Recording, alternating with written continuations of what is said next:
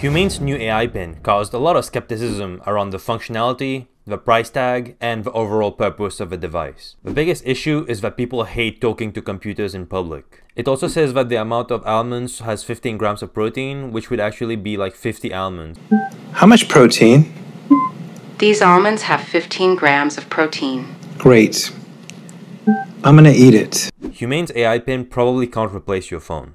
Humane is clearly trying to disrupt how we operate with our personal devices. So let's explore the basics of Humane first and compare it to previous disruptors in the past, successful and unsuccessful ones. Number 1. The mission is this.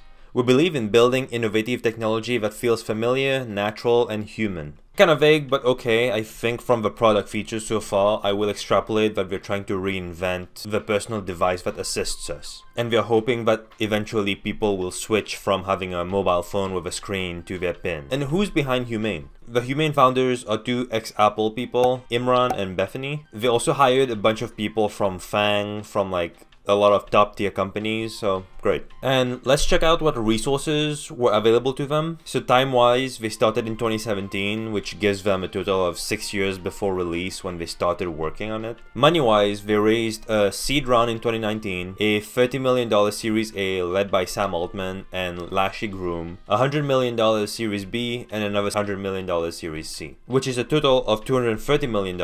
And if Sam Altman is still at OpenAI, the partnership with OpenAI is also considered a key resource for them. So with all this time, money, talent, resources, people are upset that the hype only led up to this point. A closed-ended device that doesn't allow other developers to come in, a really poor price point, and a lot of information that's being fed from that device can easily be fed to you via an Apple Watch instead. Okay, so let's compare it with three previous disruptors, starting with the iPhone. When the first iPhone got announced, it challenged a lot of themes that were current at the time in the mobile phone space. $499 for a phone that only had 2G when all the other competitors already had 3G. It had no flip, which its most consumer-friendly phone had. And it, and it looked a little bit too ambitious with just one button in the front and just a ginormous screen and a sleek design. On top of it, it didn't have a keyboard for business users. Here's what Steve Ballmer had to say about that. So that is the most expensive phone in the world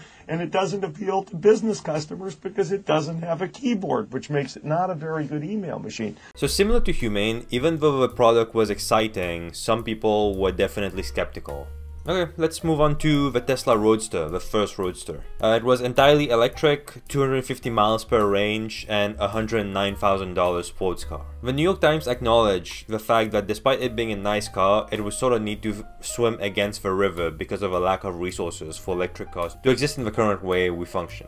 Similar to Humane, when Tesla released their first Roadster, the infrastructure around charging your vehicle or getting your battery replaced was barely there. But Tesla, the company, had a vision where they needed the future to be fully electric and they knew that they needed to work with time and with the resources that they had until everything catches up and the future becomes what it is today. Lastly, let's look at the Google Glass. Google priced the Google Glass at $1,500 and showed a crazy demo. But when people started inquiring more, they realized that there's a lot of skepticism and a lot of privacy issues that can come up from having a camera stuck to your face. The term glass holes got coined and Google had to discontinue making the device in 2015, despite the initial excitement in 2012. If we're to compare Humane's AI to the Tesla Roadster or the first iPhone, we can tell that they are releasing a very ambitious product without the technology being there yet. With the first iteration of a Humane AI pin to be a very closed-ended device, there's a lot of hope that with future developments in technology around AI, around computer vision, around natural language processing, more of these little kinks around the first AI pin can be worked so that the future iterations can actually be brilliant. But if we are to compare the Humane AI pin to the Google Glass.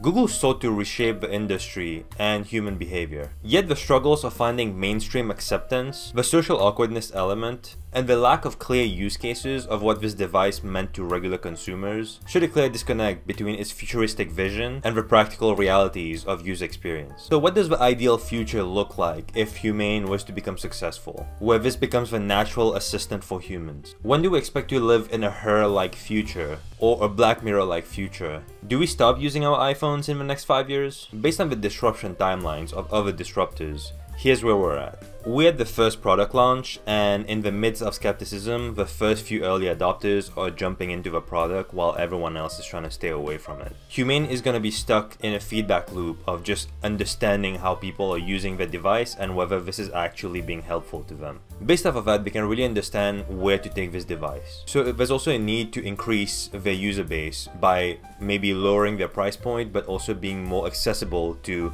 the deaf, the mute, or blind people, and to be able to sell and become a mainstream product in the United States at least, you probably want to be able to sell your device at most of the network areas. There's still so many unknowns to also track out for this product and this category of products to begin with. Is this product to cause a shift in human behavior and how humans interact with the world? Is this product going to embed itself into culture? Are competitors going to join the market and make this more exciting? Only time can tell, but this journey is not only about the evolution of a product, but the value that it brings to its users. Alright, thanks for watching.